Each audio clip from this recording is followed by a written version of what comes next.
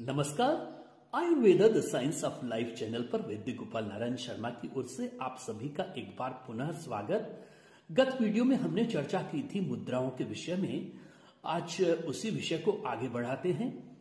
हमारे हाथों के अंदर जो अंगुलियाँ और अंगूठे हैं, इनमें पंच महाभूतों की स्थिति किस प्रकार है, इस विषय पर चर्चा करते हैं। अनामिका अंगुली, यानी कि रिंग फिंगर, इसमें यह है पृथ्वी।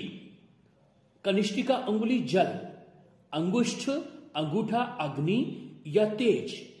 और इंडेक्स फिंगर तर्जनी अंगुली, यह है वायु और आकाश का प्रतिनिधित्व करती है हमारी मध्यमा यानी कि मिडिल फिंगर यदि आप चाहते हैं कि आपकी स्मरण शक्ति बहुत अच्छी बने, कठिन विषय को भी आप इजीली ग्रेस्प कर लें और लंबे समय तक वह आपकी स्मृति में बना रहे।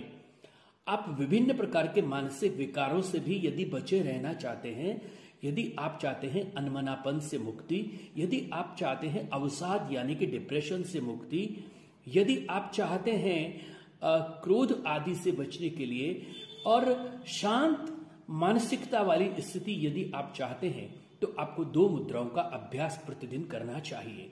पहली मुद्रा है ज्ञान मुद्रा।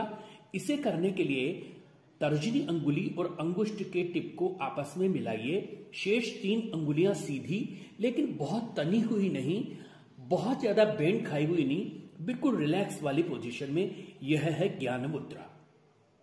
इसका अभ्यास हमें करना चाहिए और स्मरण शक्ति को अच्छा बना करके रखने के लिए दूसरी जो बहुत अच्छी मुद्रा है वह है पुस्तक मुद्रा। अपनी मुट्ठी को भींच लीजिए और अंगूठे को अपनी तर्जनी अंगुली पर इस प्रकार लगा लीजिए, मुड़ी हुई तर्जनी अंगुली पर लगा लीजिए। यह है आपकी पुस्तक मुद्रा। यानी कि मुट्ठी भींचिए और अंगूठे को मुड़ी हुई तर्जनी पर रख लीजिए। यह पुस्तक मुद्रा है।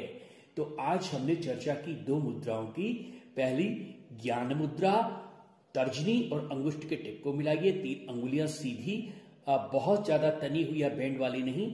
दूसरी, पुस्तक मुद्रा, इस प्रकार से आपका दिन शुभ मंगल में हो। कल फिर एक मुद्रा ज्ञान के साथ।